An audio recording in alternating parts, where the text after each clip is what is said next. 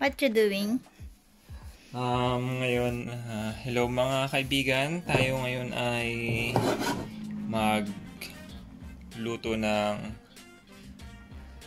leche flan. So, yung ginagawa ko dito ngayon ay nag-caramelize ng brown sugar. So, And then this one. half part water, one part sugar. Alright. Ano yun, babe? Paano yun i-measure? One part sugar, half Spoon? part water. Spoon? Kahit ano, depende. Kung halimbawa, isang kilong asukal, ganun. Kalahating kilong tubig. Eh, paano dun? Spoon. Saan? Isang spoon. Yun yun. Sabihin mo, paano ka mag-cooking show? Ah. Part-part. Ano yun, di namin maintindihan. One part sugar, Paano nga? half part. Paano? Halimbawa, may baso Oh, ako. halimbawa, isang basong asukal, kalahating basong ano, tubig. Tubig. Oo. Ah, Okay, okay, so- okay, okay. We learned something new. Ano ako yung hinahanap ko dito? So, pwede, babe, kahit anong pang-measure. Oo. So, meron din Basta. tayong ah, evap saka condensed milk. Evap and condense. Yes. So, part-part din yun. So, at saka, so ito, din pala, um, egg yolk. Uh, 300 grams egg yolk. At saka, lalagyan din natin ng isang buong itlog. Oh. 300 grams. Ilang itlog yun, babe? Um, siguro mga approximately 10 eggs. 10. 10 egg yolk. 10 egg yolk. Yung purpose nito is para magkaroon ng konting egg white. Mas okay kasi siya kapag may egg white. Ay, actually, dalawa. Sneak, sneak, sneak. Para hindi siya Oh, kumukulo na ang ating sugar. Haluin ko, babe. Hindi. Ano yan?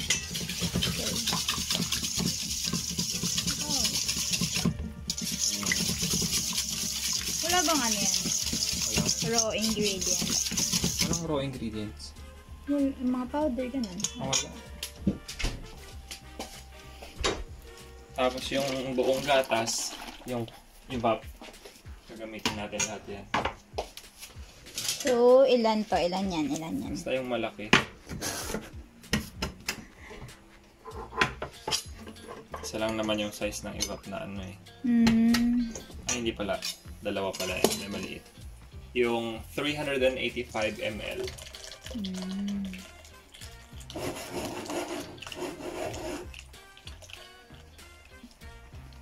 Sungit mode ako ngayon kasi inaantok ako.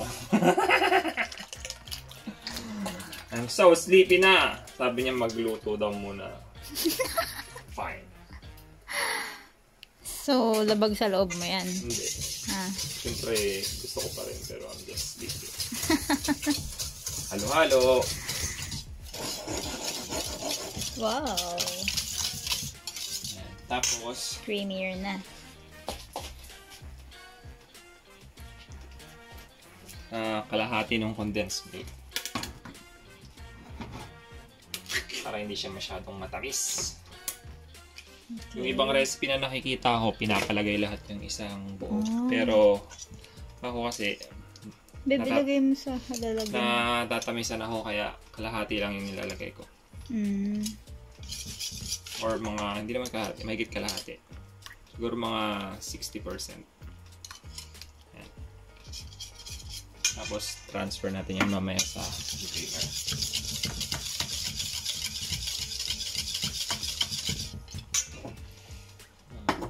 Hmm. Bakit may condensed na tas may sugar pa? Ay, pang ano lang yun, pang design. Yung sa baba? Hmm. Mix, mix, mix, mix, mix. Kaya karami. Ano kaya dito? Parang kulang, babe. na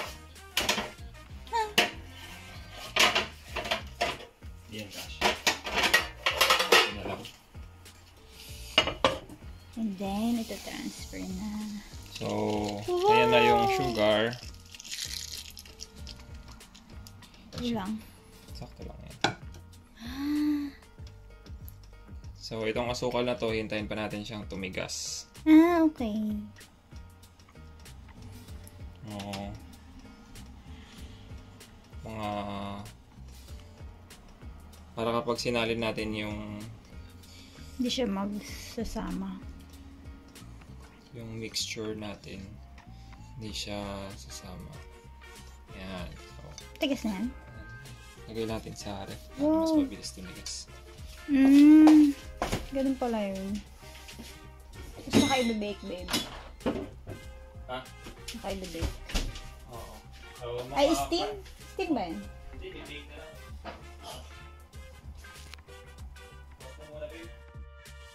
So, lamig na to. Tumigas na siya, ayan o. Oo. Wow. Galing ah.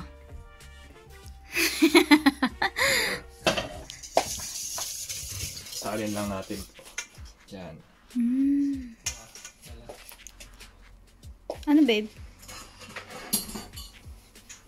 Ang sala. Para matanggal lang. Para matanggal lang yung bula. Oh, bakit babe? Ano yung bula? What's the bula? Pangit ba yun? Pangit kasi pag may bula eh. Wow, ang dami! So ngayon, lagyan natin na Hindi pala yung lalagyan ng ano babe, yung ng butter. So kala ko isang legit ano may butter. Hindi kasi ba didikit.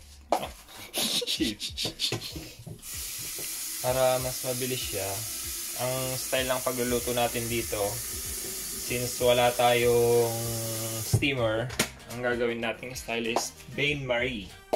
Bain Marie? Ano yun? Yung Bain Marie is, papakita ko na lang sa inyo kaya. Um, mahirap eh. Ano, paano ba? Lagyan natin ng mainit na tubig dito sa mas malaking lalagyan. Tapos, lalagyan natin siyang ganon. Mm. Yan. So, wait lang yung mainit na tubig. Mm. Tapos, Yung ginawa naman ng ano ko, yung, yung asawa ni Ate Jug, sa ano niya, malaking kaldero. eh, wala tayong malaking kaldero eh. Pero hindi nga steamer. Ano? Yung, ano lang, Ano? tapos, improvise. Na ano? Parang ganyan din, babe. Ganon ginawa niya. Pero pinatong niya lang, nagpatong siya ng ano, Ang ano nga? patungan. Patungan. Tapos andun yung ledger na.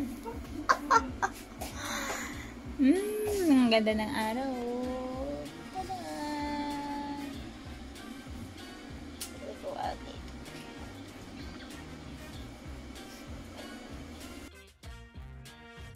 Mainit na yung tubig.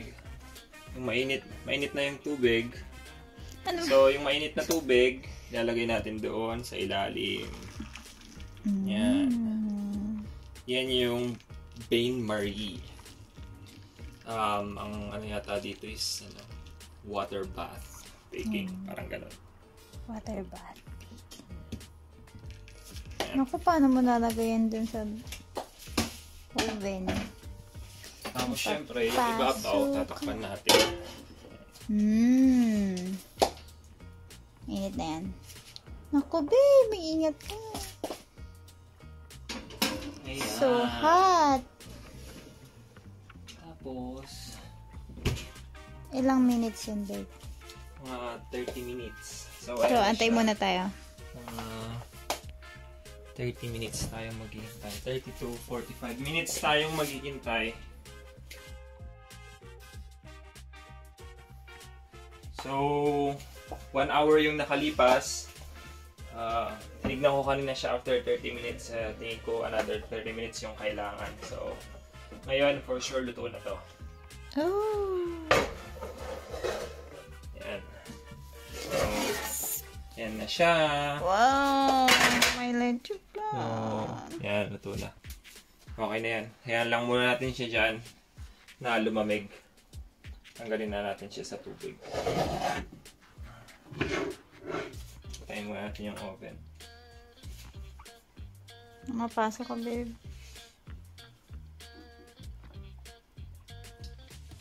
Oopsie. So, wait pa lang sa Ayan. Let's na siya. Yay! Let's wait for to cool down. May pabalik rin natin siya para makita natin talaga siyang leche flan. So, balikan natin siya kapag malamig na. For the meantime, lalabas muna kami para maglakad-lakad. Okay, so ito na yung pinalamig natin na Yay! leche flan. Actually, Sa mainit-init pa yung gitna wakas. eh. Huh? Pwede, pero pwede rin. Ah, Tada! That's my leche So, flan. Siyempre, magaling natin yung Lumikit yung gilid niyan eh. Saan mo ilalagay yan, babe? Saan? Tignan natin. Oh, no. Saan? So big kasi.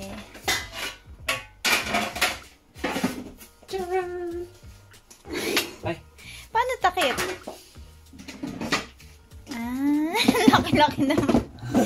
Wala kang ganera. Kasya ba? Oh! Ayan. So, flip lang natin to. The moment of truth. Dahan-dahan mo, babe. ah. One, two.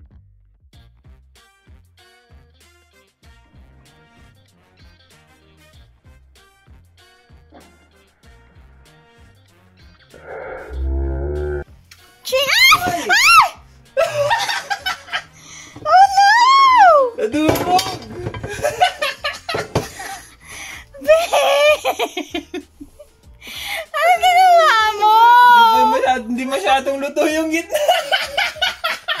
Di na matsura ko! Yaw yung itsura niya. Yaw yung itsura. Patingin ako daw ito. Naligo siya ng caramel.